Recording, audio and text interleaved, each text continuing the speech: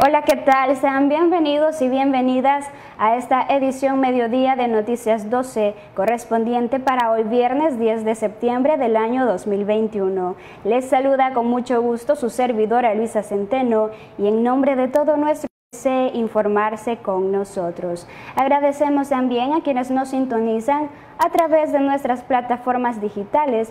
Ponemos a su disposición nuestro sitio web www.canal12.com.ni. De inmediato con nuestras informaciones y lo hacemos recordando el calendario de vacunación que brindaron las autoridades para el día de hoy. Veamos. El mecanismo COVAX ha confirmado al gobierno de Nicaragua que recibirá las próximas semanas una nueva donación de 199.200 dosis de vacunas que podrían reforzar el esquema de vacunación desarrollado en el país.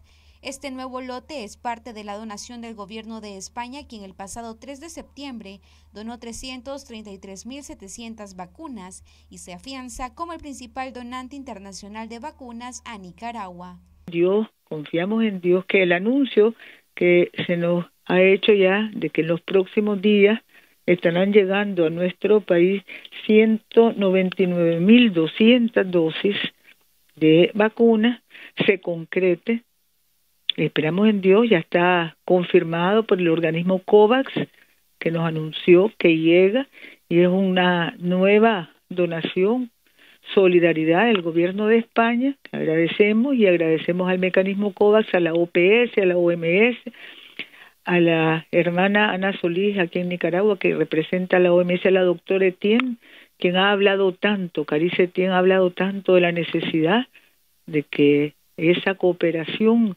solidaria en términos de las vacunas para todos los pueblos no solo se dé, sino que crezca para que protegiéndonos, inmunizándonos, creemos nosotros, podamos vencer en algún momento las peores formas de la pandemia, porque con la vacuna, según dicen también los expertos, se avanza en cuanto a que la protección es para que el padecimiento, el mal, el virus se presente de manera no letal.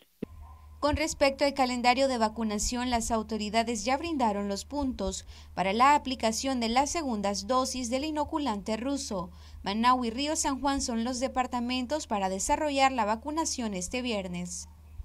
Y la vacunación, una parte, precisamente mañana viernes vamos a estar en el centro Carmen Lau, segunda dosis, todos estos días y eh, la próxima semana también son de segunda dosis en Managua, también en el ENIN, también en el taller de transmisión de enfermedades de transmisión vectorial en Distrito 4, segunda dosis, decíamos toda segunda dosis, en San Carlos, Río San Juan, en el Centro de Salud Adolfo Larguespada, en el Instituto de Medicina Natural en el Centro de Salud Los Chiles, en el puesto en frontera San Pancho y en el municipio El Castillo.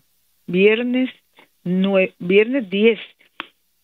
En el caso de, a ver, esto es en el del puesto de frontera de San Pancho, es por la tarde a la una. Todas las otras jornadas se realizan a partir de las 8 de la mañana y mañana vamos a estar informando sobre la vacunación el día sábado 11 y el día lunes 13. No se deja de vacunar. Para Noticias 12, Gabriela Solórzano.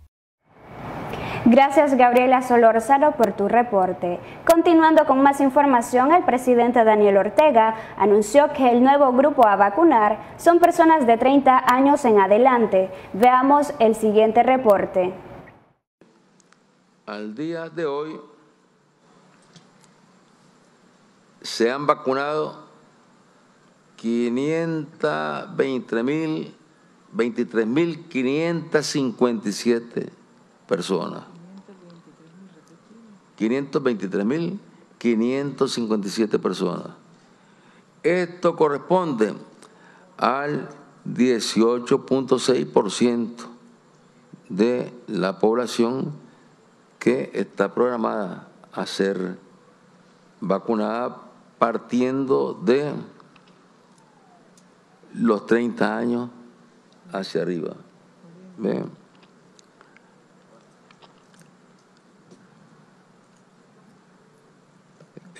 Ahí está la, meta en total es de 2.800.000 ciudadanos. De 30 años para arriba. Claro, hay casos especiales de jóvenes menores de esa edad o casos incluso excepcionales de niños, aunque son muy raros, donde sí hay que aplicar la vacuna, se aplica la vacuna. Entonces, fíjense bien, la meta que hemos tenido conforme a las normas internacionales y el modelo que hemos venido aquí implementando es bueno, de 30 años para arriba. 2.800.000 ciudadanos. De estos, 2.800.000 ciudadanos ya han sido vacunados. 523.557 eso corresponde al 18.6% de esa meta de ciudadanos. Y hoy estamos a 9 de septiembre. Dentro de pocas semanas, eh, a partir del 20 de septiembre hasta el 9 de octubre, ya estamos organizados y preparados para recibir más vacunas y aplicar 400 mil dosis más de vacunas. Mm. Y ahí estaríamos llegando en ese momento a 923.557 personas, casi un millón de nicaragüenses. La sexta parte de la población, de los 6 millones de habitantes, un millón, sexta parte de la población.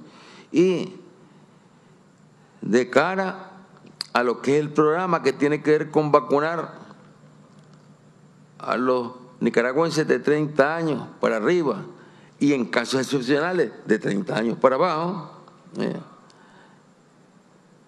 ahí vamos a estar ya eh, eh, con una meta ya este que estaríamos llegando pues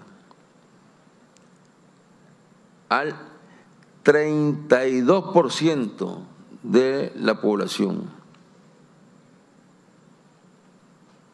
Es decir, a pesar de las dificultades que tenemos en el mundo, los países con menos recursos, porque este es un problema no solamente para Nicaragua, sino afecta a todos los países con menos recursos, afecta a los países centroamericanos eh, afecta a los países en vías de desarrollo en África, en Asia, en América Latina, afecta a los países del Caribe.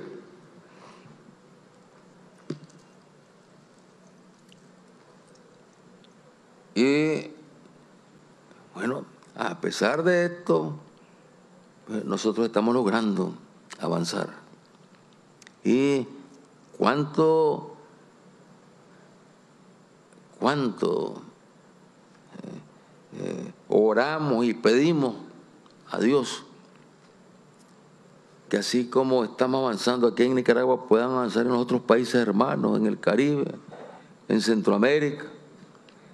Sabemos que no es un asunto de voluntad de los gobiernos, es un problema de acceder a recursos Ahora, cambiando totalmente de tema, el departamento de Estelí registró afectaciones tras fuertes lluvias caídas la tarde de este jueves. Gabriela Solórzano con el reporte completo.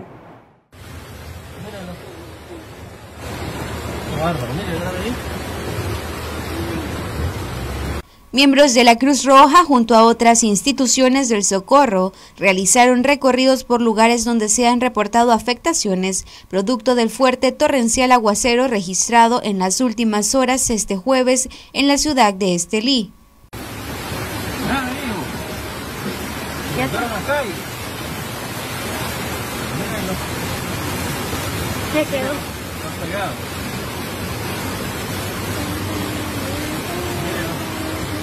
En la rampa del Panamá Soberana se tuvo que cerrar el paso debido a las fuertes corrientes del río. Uh, ahí sí está.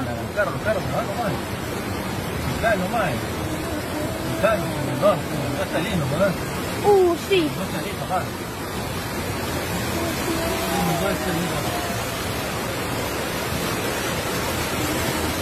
Calles sin acceso, vehículos varados y algunas viviendas anegadas han sido parte de los resultados de las lluvias que empezaron a caer desde las 5.30 de la tarde en la ciudad de Estelí. Por una de las calles del barrio Oscar Turcio, precisamente del monumento al cementerio tres cuadras al este, una cuadra y media al norte. Un automóvil pasó varado luego que los torrenciales aguaceros no permitieran su movilización.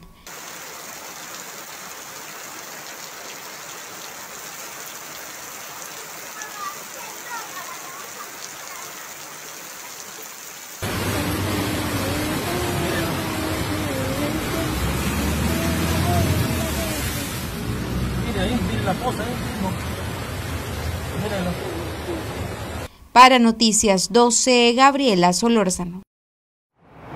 Gracias Gabriela Solórzano por tu reporte. Ahora les presentamos las condiciones climáticas para las próximas horas en el territorio nacional.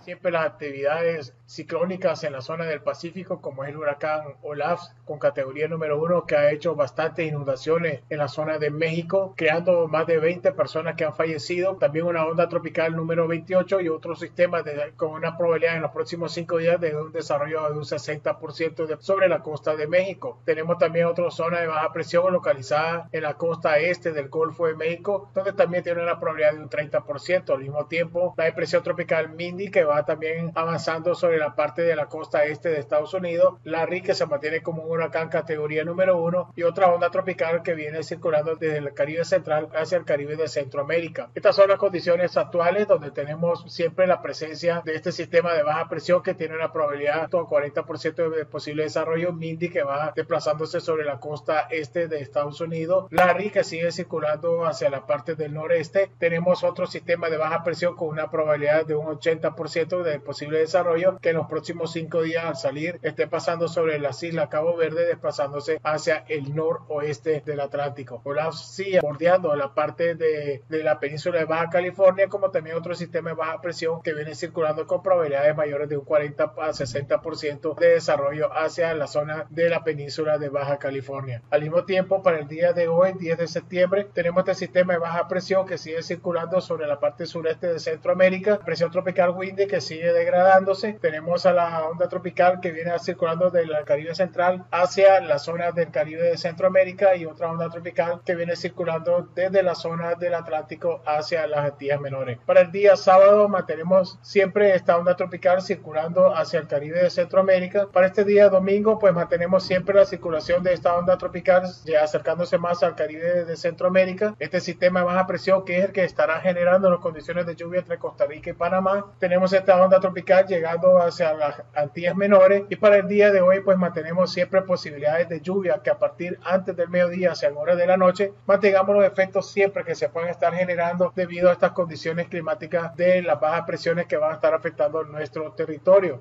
También tenemos que informarles que el día de ayer se, se reportaron varias inundaciones en este líder en los barrios de Paula Úbeda, de Ronaldo Arauz, el Camino, Camino Segundo, Hermanos Cárcamo, Oscar Turcio, Belén, Santa Vía Sandí Camerino, Villa Cuba, Leira de Compostela y se ha dado un acumulado aproximado hasta de más de 83.3 milímetros con la lluvia desde las 4 de la tarde del día ayer y que han continuado durante el transcurso de la noche ante la salida de este sistema de baja presión por la parte del noroccidente y la zona norte. Al mismo tiempo tenemos que para el día de hoy las temperaturas mínimas al amanecer, León Chinandega 23-25, Managua, Masaya, Granada 23-24, Carazo, Ríos 22-24, Madrid, Segovia 20 grados, Estelí, Genotega y Matagalpa 19 a 20, Huaco, Chontales, Río San Juan 22-24, Río Blanco, Nueva Guinea 22-24, Triángulo Minero 22-23, Caribe 24 a 25, todos en grados Celsius. Mientras que las temperaturas máximas tenemos León Chinandega 26-28, Managua, Masaya, Granada 27-29, Carazo, Ríos 25-27, Madrid, Nueva Segovia 25-26, Estelí, Genotega, Matagalpa 23-25, Huaco, Chontales, Río San Juan 27-29, Río Blanco, Nueva Guinea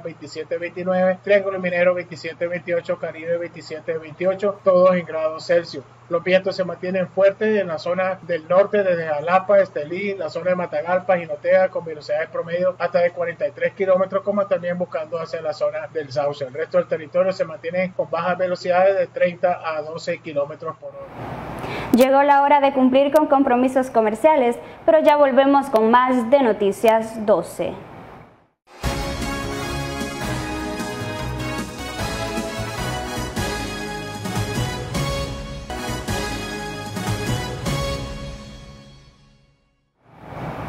Gracias por seguir informándose con Noticias 12.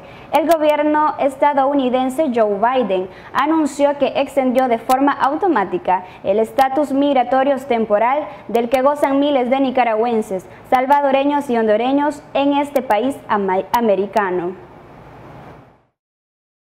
Estados Unidos podría extender por 15 meses más el estatus de protección temporal para miles de migrantes indocumentados provenientes de seis países entre estos Nicaragua. La Organización Defensora de los Migrantes habría negociado con el gobierno de Estados Unidos Joe Biden para que les fuese renovada la protección que vencería el próximo 4 de octubre.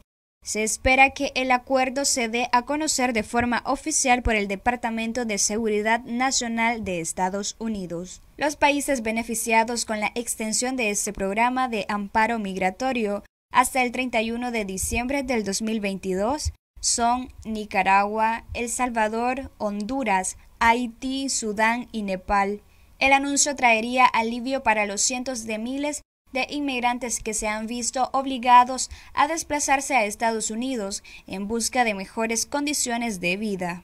Datos del Foro Nacional de Inmigración indican que en Estados Unidos hay más de 4.500 beneficiarios del TPS provenientes de Nicaragua. Desde hace años Estados Unidos ha sido el principal destino elegido por los nicaragüenses que deciden desplazarse. Según la Agencia de la Organización de las Naciones Unidas para los Refugiados ACNUR, durante los últimos tres años del conflicto interno de Nicaragua, más de 100.000 personas se han visto forzadas a huir y buscar asilo.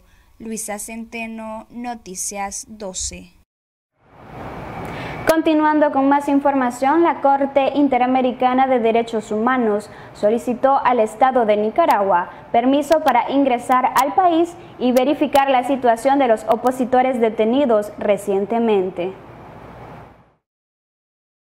La Corte Interamericana de Derechos Humanos emitió una resolución en la que solicita al Estado de Nicaragua permiso para ingresar al país y verificar la situación de un grupo de opositores detenidos. En su resolución, la Corte manifiesta la disposición para realizar una visita a Nicaragua previa anuencia del Estado a fin de verificar la situación de las personas detenidas que son beneficiarias de las presentes medidas, que éstas sean exhibidas personalmente ante la delegación del tribunal y se constate su estado de salud por medio de médicos independientes. La delegación estará compuesta por al menos un juez de la Corte Interamericana y el Estado de Nicaragua deberá comunicar a más tardar el 24 de septiembre próximo si acepta la visita. Esta solicitud de visita es parte de una serie de requerimientos incluidos en la resolución sobre medidas provisionales en favor de Lester Alemán, Freddy Navas, Daisy Tamara Dávila, Juan Sebastián Chamorro, José Adán Aguerri Chamorro, Félix Alejandro Maradiaga y Violeta Mercedes Granera Padilla, y sus núcleos familiares.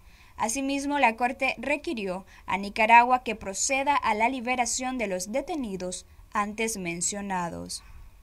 Además, la Corte IDH exige al Estado nicaragüense que adopte de forma inmediata las medidas necesarias para proteger eficazmente la vida, integridad y libertad personal de estas personas así como garantizarles su contacto inmediato con familiares y abogados, el acceso inmediato a servicios de salud y medicamentos. El pasado 24 de junio, la Corte ya había emitido medidas provisionales en las que ordenó la liberación inmediata de Juan Sebastián Chamorro, José Adán Aguirre, Félix Maradiaga y Violeta Granera, la Corte dijo que a la fecha, tres meses después de adoptada la decisión, el Estado no ha procedido a su liberación ni ha informado a esta Corte las medidas que ha adoptado para garantizar eficazmente su vida, integridad y libertad, también la de sus núcleos familiares.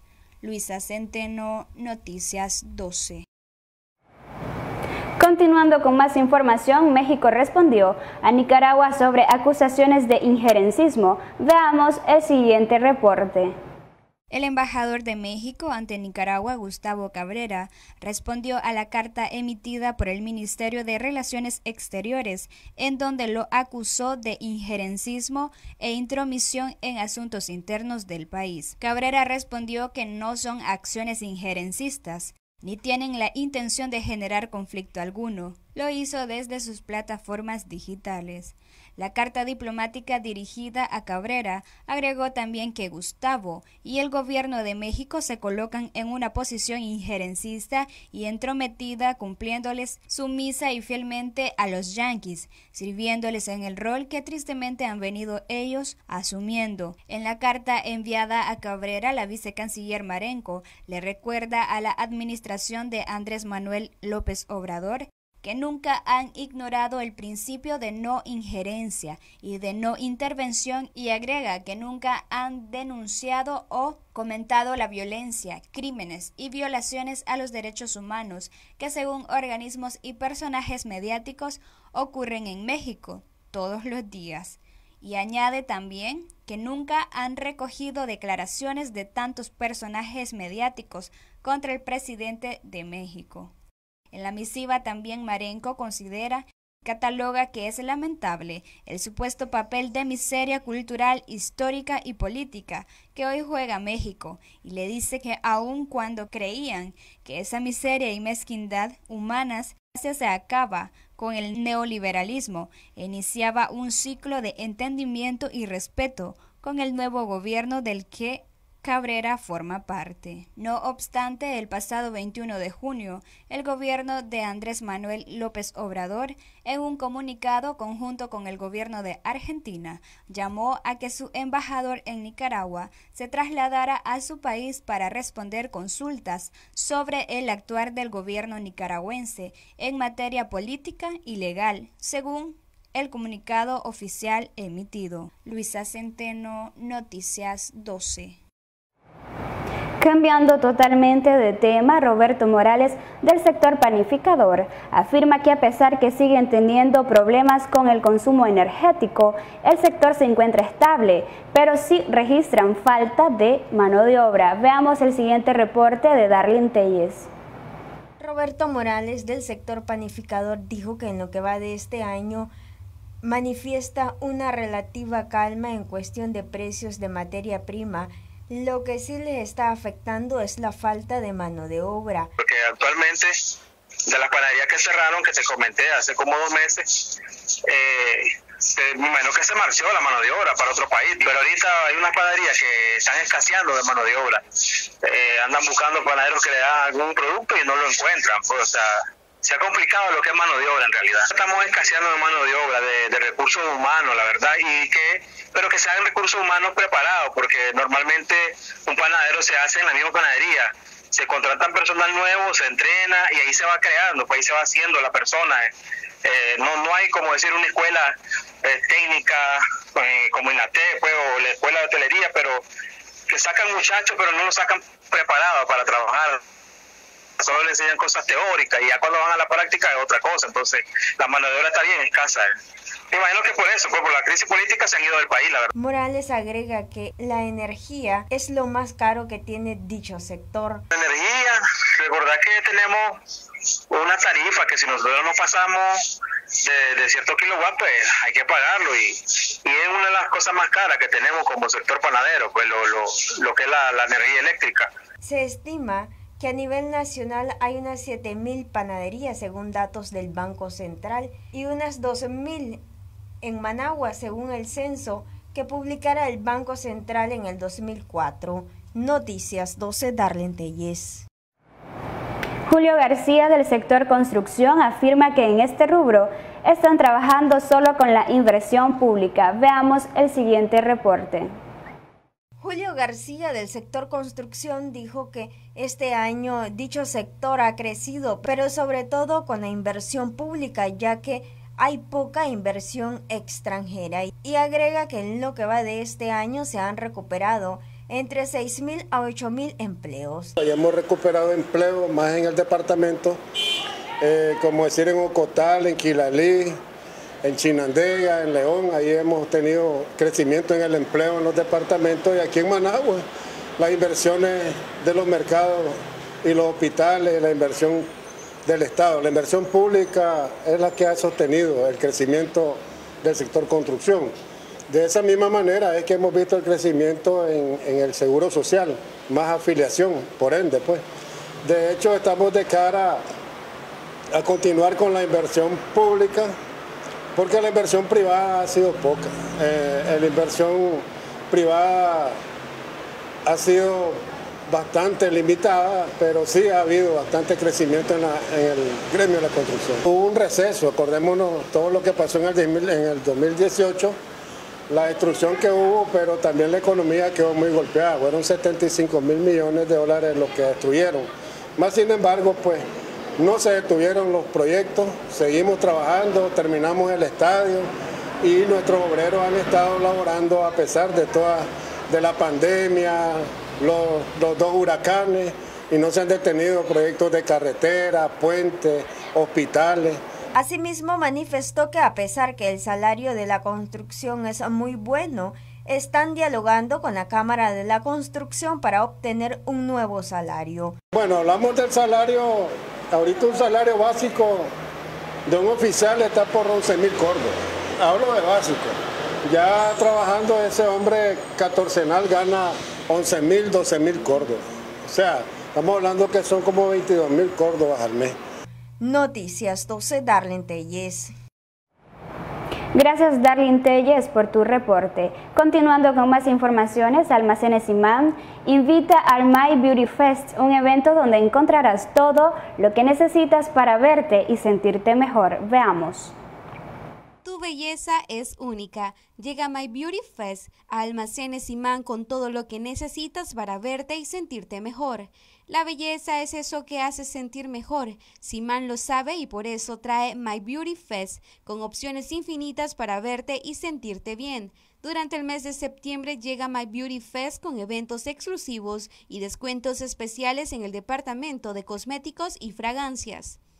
Los clientes podrán obtener experiencias especiales gracias a todas las actividades que se tendrán durante el mes, en lo que podrán acceder a descuentos de hasta un 30%, así como regalos por compras a quienes estén registrados en el programa de lealtad Get Beautiful. Los clientes Crediciman también encontrarán descuentos especiales en fechas específicas y tendrán la oportunidad de poder adquirir sus productos con 12 cuotas, gracias al plan Credi Belleza.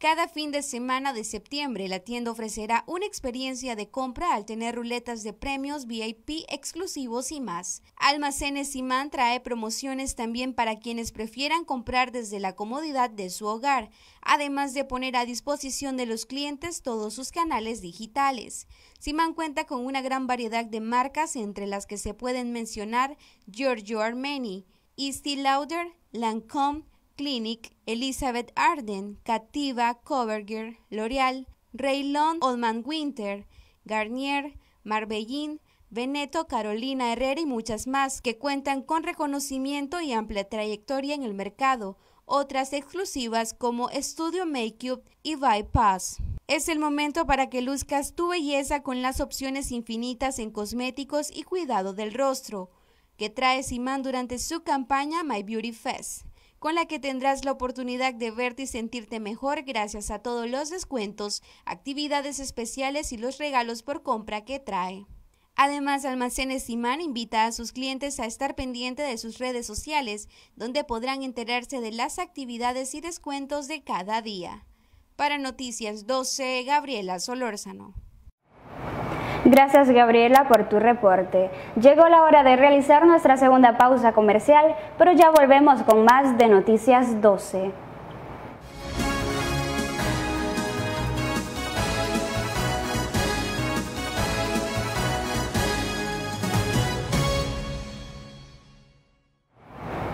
Gracias por seguir en sintonía con nosotros.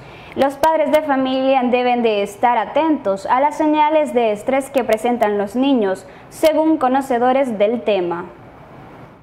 La terapeuta María Blanco dio a conocer cómo un padre de familia debe de actuar con su hijo que esté pasando por problemas de estrés, así como hablarle con la verdad sobre la situación que se atraviesa en el país con la pandemia del COVID. Lo que tenemos que hacer es principalmente de hablar con el niño, nunca mentirle, hablar con la verdad que sí estás un momento de COVID, que tenés que lavarte las manos, eh, cómo lavarte las manos, no decirle, no podemos salir a la calle porque nomás te vas a morir, no, puedes salir a la calle, pero cuidándose. Porque si vos le decís eso a los niños, como están pequeños, lo primero que van a decir ellos, cuando vos salgas a la calle a comprar algo para la comida, los niños van a decir, mi mamá se va a morir. Entonces, no, uno tiene que decirle, si salimos tenemos que cumplir con ciertas reglas. Eh, también se preocupa muchísimo por los familiares adultos. ¿Cómo podemos ayudarle? En este caso, podemos poner alarma, decirle a los niños, mira, yo estoy muy preocupada también, pero puedo hacer esto, podemos poner alarma. Yo a mi abuelita le voy a llamar a las 5 de la mañana, a las 7 de la mañana, un video llamada. Por el momento no nos podemos acercar, pero de esta manera estamos en contacto con ellos. Blanco agregó que las señales de estrés inicia por la ansiedad que se demuestra de diferentes maneras. Puede ser ansiedad de morderse los deditos, eh, deprimirse, no querer bañarse, pasar todo el día acostado, eh, pasar todo el día acostado sin tener un instrumento con que jugar él, pasar gritando, es mucho nivel de ansiedad. Otro es este que pueden ser síntomas de ansiedad del niño, llorar. Hay niños que se ponen a llorar y sin tener nada por qué llorar. Noticias 12 Darlene Telles. Ahora veamos noticias de carácter internacional. Los Ángeles, California impuso vacunación contra el COVID-19 obligatoria en los estudiantes. Veamos el reporte. Todos los estudiantes de las escuelas públicas de Los Ángeles con 12 años o más deberán estar vacunados contra el coronavirus antes de fin de año. Es la primera medida de este tipo impuesta por un distrito escolar de Estados Unidos, que enfrenta un aumento del número de contagios impulsado principalmente por la variante Delta del virus. Los adolescentes en clases presenciales tendrán hasta el 21 de noviembre para recibir la primera dosis del inmunizante y hasta el 19 de diciembre para la segunda. A su vez, los estudiantes que cumplan 12 años durante el curso tendrán un mes para comenzar su vacunación. Unos 600.000 estudiantes están registrados en las escuelas públicas del Distrito de Los Ángeles, ciudad de la costa oeste del país, con casi 4 millones de habitantes. El distrito ya había ordenado que los niños fueran testeados regularmente, así como el uso de mascarillas en espacios abiertos y cerrados. Profesores y otros empleados deben estar vacunados. Cerca del 58% de los adolescentes de entre 12 y 18 años en Estados Unidos fueron inoculados con al menos una dosis. Continuando con más, miles de personas continuaban el jueves batallando con las inundaciones que dejaron las intensas lluvias en el estado de Hidalgo en el centro de México, que también provocaron la muerte de más de una decena de personas en un hospital cuando dejaron de funcionar los apoyos de respiración a causa de fallas en la electricidad. Miles de personas continuaban bajo el agua el jueves en el estado mexicano de Hidalgo, en el centro del país. Las intensas lluvias dejaron más de una decena de muertos en un hospital, luego de que se inundara provocando fallas en el suministro eléctrico y apoyos de respiración para pacientes internados por COVID-19 dejaron de funcionar. El río Tula se desbordó la noche del lunes, inundando amplias zonas y afectando a cerca de 39 mil pobladores. Bueno, pues la inundación empezó de un momento a otro, ya salió de control, se inundó completamente en menos de 10 minutos, ya estaba el agua al techo. Eh, estaba a centímetros de inundar el segundo piso y pues empezó a llegar la ayuda. A nosotros nos sacaron en lancha y pues ya de ahí empezaron a rescatar a las demás personas de las demás casas también. Más de mil elementos de la Guardia Nacional, militares y rescatistas fueron desplegados en la zona afectada. Civiles participaron activamente en los rescates de sus vecinos. En algunas calles de la localidad, el agua ha comenzado a bajar de nivel. Ya estábamos acostados todos, este, y gritaban que ya estaba subiendo el agua, que estaba en la esquina, que Entonces yo ya me paré como loca y le dije a mi hijo, se fue a sumar, y sí, dice, apúrale mamá, dice, porque deja ver que levantamos de aquí. O sea, ellos en su casa, ¿no? Y yo en la mía. Y entonces yo lo único que hice fue aventar mi ropa arriba del ropero, pensando que no se iban a inundar tanto. Unos mil pobladores de comunidades afectadas por las lluvias han sido trasladados a refugios y las autoridades se alistan para recibir a más damnificados. Las inundaciones ocurren en momentos en que México vive una tercera ola de contagios de COVID-19 y luego de que el martes se viviera un fuerte sismo de 7,1 que causó susto entre la población del centro del país, dejó un muerto y destrozos en la costa de Guerrero. Capturado el jueves en Madrid, tras pasar casi dos años prófugo, el ex responsable de inteligencia venezolano Hugo El Pollo Carvajal espera en prisión su extradición a Estados Unidos, que lo busca por presunto narcotráfico. El ex responsable de inteligencia venezolano Hugo El Pollo Carvajal espera en una prisión de Madrid ser extraditado a Estados Unidos. Tras estar dos años prófugo, fue capturado la noche del jueves en España y ahora deberá enfrentar cargos por narcotráfico por presuntamente haber participado en estas actividades con la antigua guerrilla colombiana FARC. Carvajal, que podría ser condenado incluso a cadena perpetua, fue jefe de los servicios de inteligencia venezolanos bajo la presidencia del fallecido Hugo Chávez.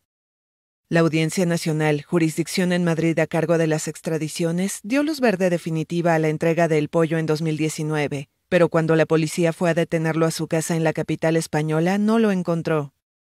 Desde entonces el general retirado de 61 años se mantuvo en paradero desconocido. Para evadir a las autoridades cambiaba de domicilio cada tres meses según un comunicado de la policía.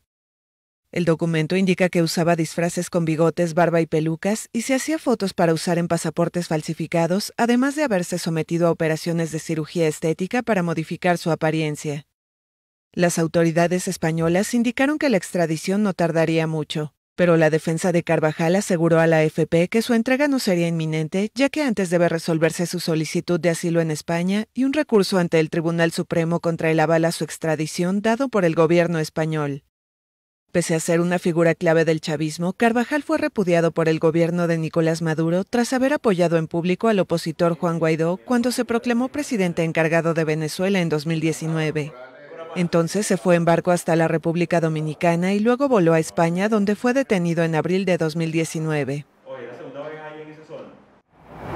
Continuando con más información, pero ahora de carácter nacional, Enrique Picado del Movimiento Comunal Nicaragüense dijo que debido a las condiciones climatológicas, la malaria no ha podido ser erradicada de la costa caribe. Enrique Picado del Movimiento Comunal Nicaragüense afirma que no se debe de descuidar las otras enfermedades que se dan en el país y una de ellas es la malaria, que aún no se ha podido erradicar y que se presenta con mayor frecuencia en la costa caribe. Dichosamente, eh, entre comillas, en una región del país, porque no, no, debemos de tenerla en ninguna región, y digo dichosamente desde el punto de vista de que no se extiende al resto del país, producto de las estrategias de contención que se tienen desde el Ministerio de Salud, desde la red comunitaria, desde la participación social, y con ello entonces tenemos el reto de erradicarla en este sector del país, porque ningún territorio y sector social pues eh, nos merecemos una situación como esta. Y es compromiso de todos y de todos, desde las políticas del Estado, este, controlar, evitar y erradicar estas enfermedades, particularmente la malaria, pues que la tenemos allá concentrada en esta en zona caribe. De tal forma que este, la actitud preventiva, educativa, de promoción de la salud, e incluso aprovechando este, nuestro 43 aniversario en el que en, todos estos años hemos sido un apostolado en materia de prevención de la salud, de participación comunitaria, eh, por la vida, por la salud, por el bienestar integral de la comunidad, creo que no, eh, el mejor compromiso que podemos adquirir y que la gente tiene que adquirir es enfrentar estas realidades en el territorio de la mano con el Ministerio de Salud, porque efectivamente son situaciones que em, este, nos empobrecen más, nos enferman más y creo que frente a una situación que tenemos tan difícil como es el COVID, tenemos que lograr eh, el control de estas enfermedades. Picado dijo que el mejor compromiso es aceptar las realidades y controlar dicha enfermedad y la concentración en la costa caribe se debe por condiciones climatológicas que no se permite dicho control. Hay personas que aún todavía ubican de que esto es una situación que debe estar ahí por tal razón desde el punto de vista hasta religioso. Pero bien, son sus creencias, tenemos que respetárselas, pero en esas circunstancias eh, debemos avanzar, debemos trabajar de manera comunitaria, eh, desde una perspectiva en la que lo ancestral debemos respetarlo, pero igualmente combinar ese saber ancestral con el saber, eh, digamos, como se le llama occidental, científico, médico, y que hay en ese sentido un equilibrio. Noticias 12 Darlene Telles. Hasta aquí nuestras informaciones, pero le invitamos a que nos sintonice a las 6 de la tarde en nuestra edición estelar.